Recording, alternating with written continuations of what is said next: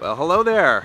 Today I am on the east coast of the southern island of New Zealand.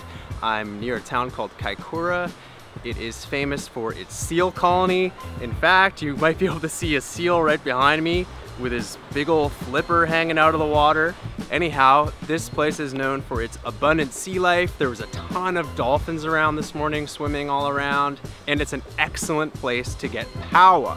Now, paua is also known other places in the world as abalone. It is a very sought after delicacy. It can fetch up to, I think $80 a pound or something like that. Very valuable. What you see behind me here, this rocky area, is filled with paua.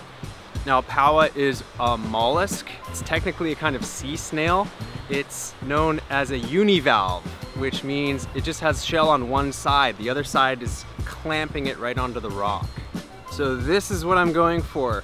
This is a full-grown paua shell here, and you can see the size of it. It's it's hand size. The legal size here is 125 millimeters. So if it's any smaller, leave it alone. It takes about three to five years for them to become full size. Good eating, bad eating. So I'm just gonna wait for the tide to pull back a little bit.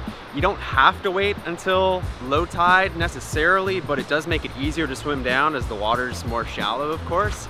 So I'm just gonna hang out here, watch some seals, and oh my God, these things stink so bad. You can smell them before you see them. But anyway, they are pretty fun to look at.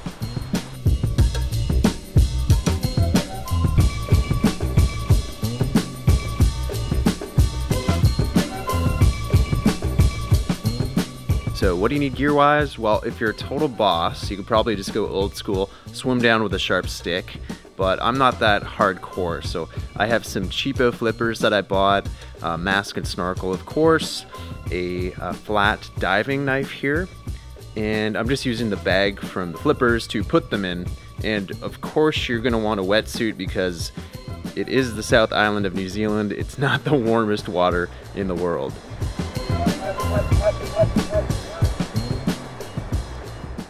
Okay, low tide is here. This is great. Only problem is that there is a lot more swell in the water than there was before. The waves have picked up. I'm probably gonna get moved around. This is not gonna make things easy. But anyway, I'm gonna get wet and see how it goes.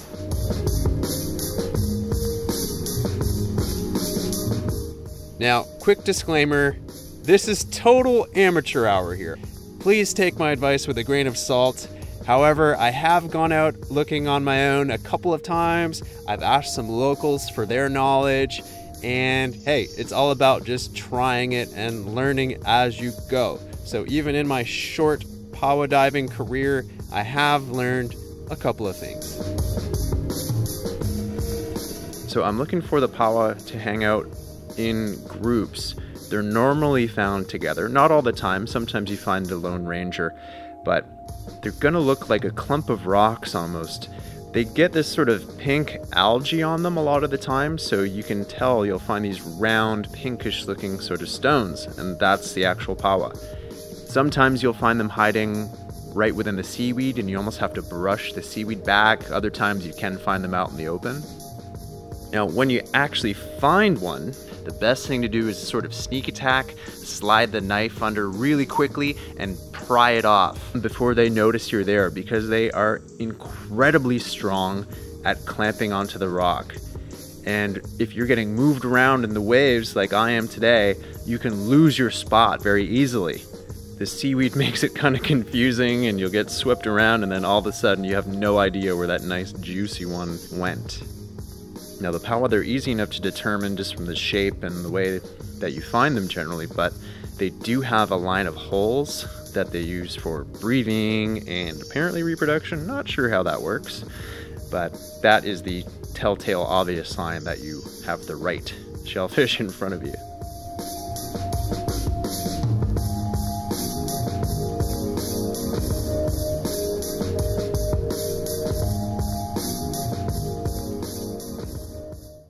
Okay, so I'm finally dry. I succeeded. I got my quota of six paua, nice sized, well over the limit. And it's actually thanks to Gary. Gary is my neighbor here. He saw me kind of floundering around in the water. I'd managed to get one that was just of size and he was able to point me to the right area, let me use his catchment bag, and he gave me this sweet knife. Plastic knife, so you don't hurt the paua or cut it, because once they start bleeding, they die. So if you get one that's the wrong size, you can at least put them back and they will live. And now we are going to do our best to prep and cook these up before we get completely blacked out by the darkness of night.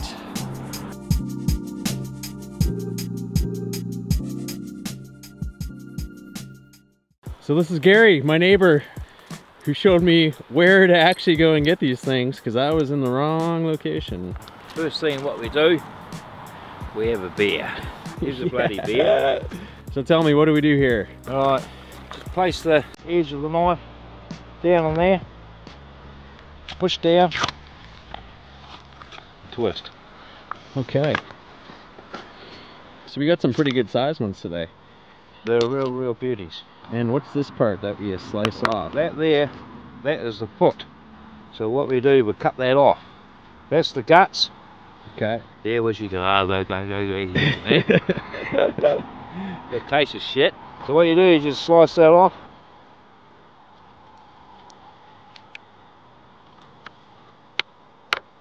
You can keep this and put it in your in your clay pots. Okay. But I don't. Birds will eat it. I'll give it birds. Now that part there, that is the mouth. Really? Yeah. Yeah. So what you do, you cut the mouth out. So give that to the birds. And then all you do now, you just wash that. Yep. Hit it with a hammer. And then if you want to cook it up, then you slice it and you probably cook it for about 30 seconds. That's it. That's it. Really? If you cook it too long, they go hard and they go tough. So you can have a go. All right. Let me put down the beer. If you haven't got a knife, put a starfish Yeah. on your hand. Because they don't like starfish. Oh, really? You put it on that and go up like that, and you'll see them, they, they take off They real can fast. That's crazy. Yeah. Put it on the table. Yep. Push down hard. Oh, wow. Yeah. It just pops right out. Yep. There we go. Okay. And then, And use these for ashtrays. okay. Find, I find it easier to do that. Sit them up. Okay. Just be real careful.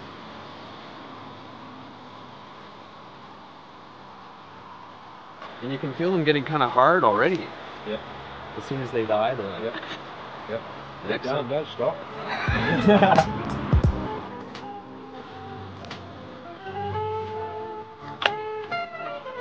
Well, that came out nice and Quite easy, isn't yeah, that's amazing.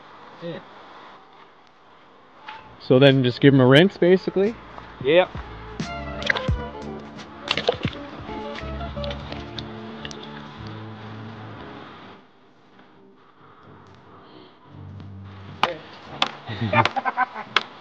Okay, mate.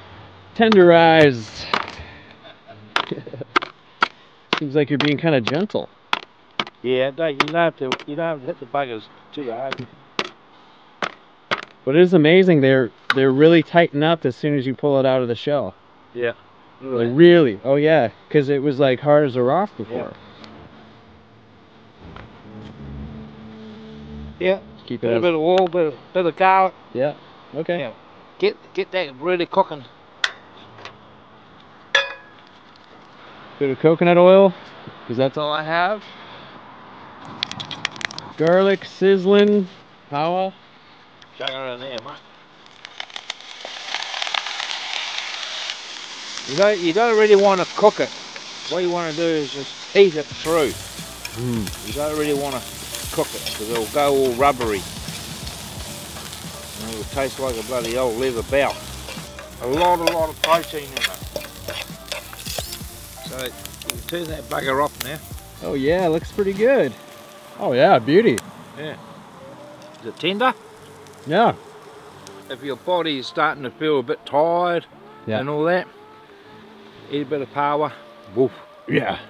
It's got a lot of energy in it. Enough to get you energy to go swim Yeah. for some more. Yeah. Yeah.